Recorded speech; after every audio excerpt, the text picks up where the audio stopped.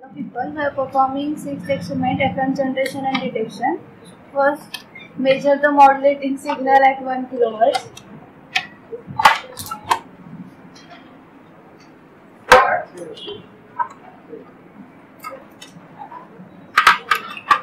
Here we are getting a modulating signal. So let us see the DSO output.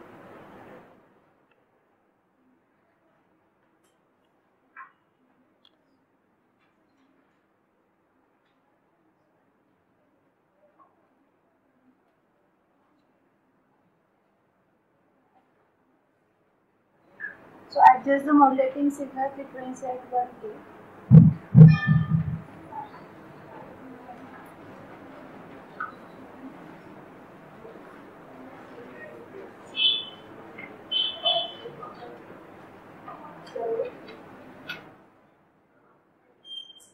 Modulating voltage at 1 volt peak to peak.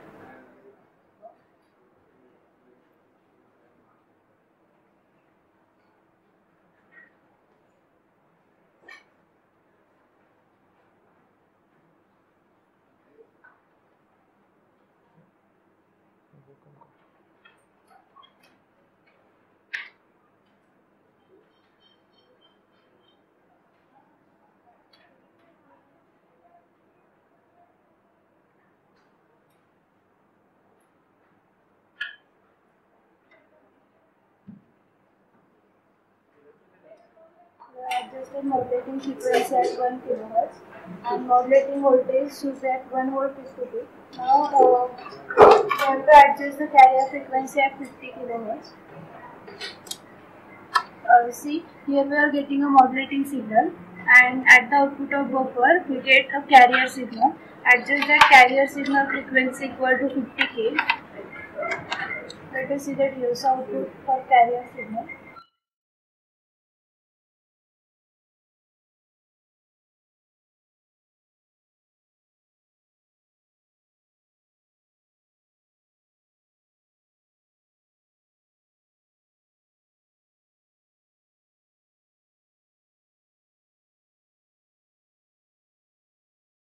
Adjust the carrier frequency equal to 50k using this frequency adjustment now. So the carrier frequency is equal uh, is 50k.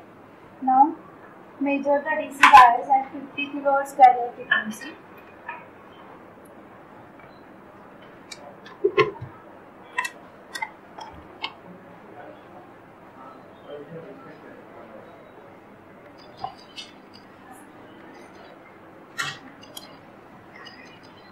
So we have to measure the carrier uh, DC bias.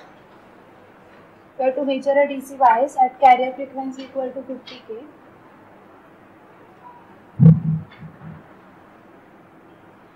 Okay, the DC bias is going to be 8.20 or 8.14. So now uh, assume Vm is equal to 1 volt and modulating signal frequency is equal to 1 kilohertz. Uh, measure the frequency at V plus Vm by 2. Our V is 8.50 uh, 14 volt and Vm is 1. So V plus Vm by 2 we are getting as 8.7 volt, approximately 8.7 volt. So adjust that DC bias at 8.7 volt by using this frequency adjustment now. And at 8.7 volt we have to measure the frequency of that signal. Now use the formula. Uh, now we have to measure the frequency at V minus Vm by 2. Our V is 8.14 volt and Vm is 1 volt. So V minus Vm by 2 is approximately coming out to be 7.7 volt. So adjust the uh, DC bias at 7.7 volt by using frequency adjustment knob. And measure uh, the carrier frequency at 7.7 volt and uh, see here V is 8.14 volt and Vm is 1 uh, we have ap- approximately it is 1 volt and uh, we have to measure the frequency. Now measure uh, repeat this procedure for uh, Vm is equal to 1 volt 2 volt and 3 volt now the next part is we have to adjust the PLL frequency equal to 50 kilohertz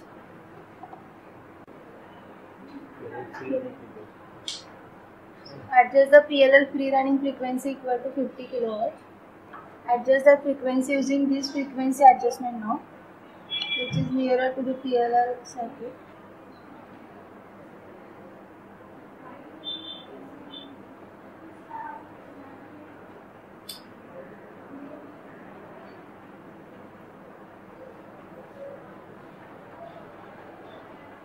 nearly up to 50 kilohertz.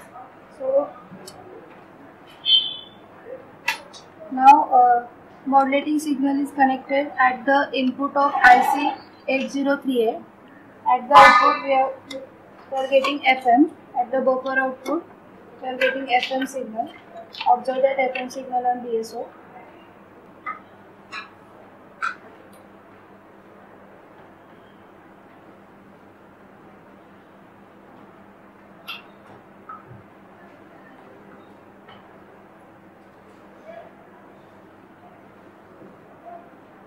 So is the FM output. If you are not getting the output, then adjust the amplitude of modulating signal so that it is the perfect FM.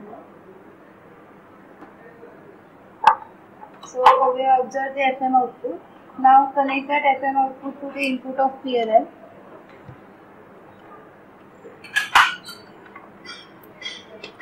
And at the PLL output, the sine wave is getting we detect, uh, detect that signal using PLL. So at the output of PLL, sine wave is uh, obtained, but it is not a perfect sine wave.